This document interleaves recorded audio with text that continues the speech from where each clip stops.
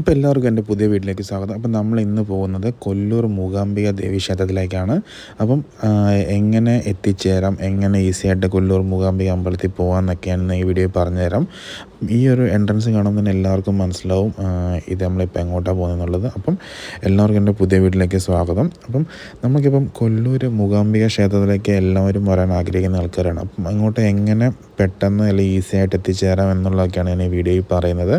എല്ലാവരും കൊല്ലൂർ വന്നിട്ടുണ്ടാവും. പല വഴിയിൽ കൊല്ലൂർ വരാൻ പറ്റും ബസ്സിന് വരാൻ പറ്റും ട്രെയിനിന് വരാൻ പറ്റും പിന്നെ വണ്ടി എടുത്ത് വരുന്ന ആൾക്കാരും ധാരാളം ഉണ്ട്. അപ്പം എങ്ങനെ ദൂരമുള്ള ആൾക്കാർക്ക് കേരളത്തിൽ നിന്നൊക്കെ എങ്ങനെ ഈസി ആയിട്ട് നമ്മുടെ കൊല്ലൂർ മൂകാംബിക ദേവി ക്ഷേത്രത്തിലേക്ക് പോയി നിങ്ങൾക്ക് പ്രാർത്ഥിച്ചിട്ട് തിരിച്ചു വരാമെന്നുള്ളതാണ് ഞാനിപ്പോൾ ഈ വീഡിയോയിൽ പറയുന്നത്.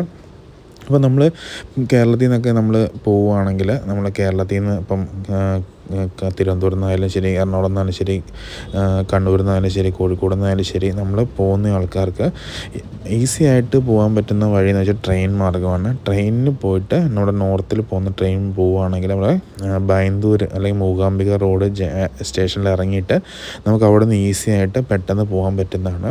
അല്ലെങ്കിൽ പോകേണ്ട വഴി എന്ന് വെച്ചാൽ നമുക്ക് ഉടുപ്പിയിൽ ഇറങ്ങിയാൽ പോകാൻ പറ്റും മുരുടേശ്വരം ഇറങ്ങിയാലും നമുക്ക് ഇങ്ങോട്ട് പെട്ടെന്ന് എത്തിച്ചേരാൻ പറ്റുന്നതാണ്. അപ്പോൾ ഇങ്ങനെ നമുക്ക് കുറേ വഴികളുണ്ട്.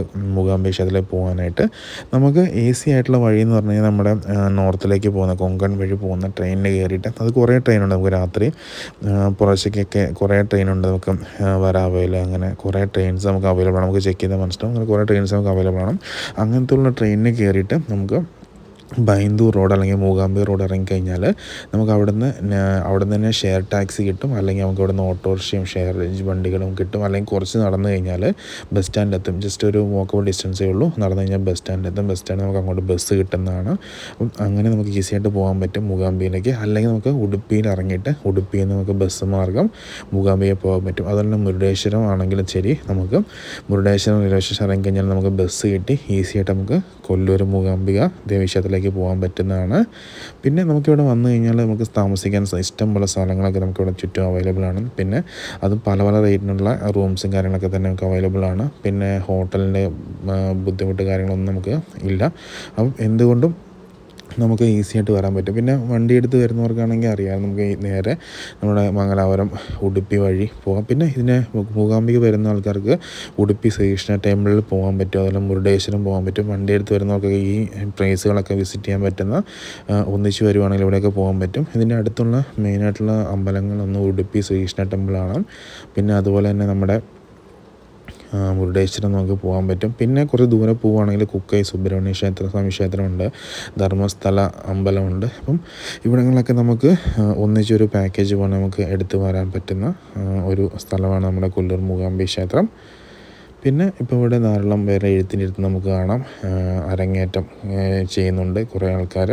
അങ്ങനെ ഓരോരുത്തരെ പ്രാർത്ഥനയും കാര്യങ്ങളൊക്കെ നമ്മൾ വന്ന് അമ്മയുടെ അടുത്ത് നമ്മൾ പ്രാർത്ഥിച്ച് ചെയ്യുന്നതാണ്. അപ്പം കൊല്ലൂർ വരാനുള്ള മെയിനായിട്ടുള്ള വഴി ഇതൊക്കെ തന്നെയാണ്. അപ്പം കേരളത്തിൽ നിന്ന് വരുന്നവർക്കും ഇങ്ങനെ നമുക്ക് ഏതെങ്കിലും ട്രെയിൻ മാർഗം കയറിയിട്ട് നമുക്ക് കൊല്ലൂർ ഈസി ആയിട്ട് വരാൻ പറ്റുന്നതാണ്. ഒരു ബുദ്ധിമുട്ടുമില്ലാണ്ട് നമുക്ക് വന്ന് തൊഴുത് പ്രാർത്ഥിച്ച് പോകാൻ പറ്റുന്നതാണ്. പിന്നെ ഇവിടുത്തെ മെയിനായിട്ടുള്ള ട്രെയിൻ പോകേണ്ട സ്ഥലം കൊടജാതിരയാണ്.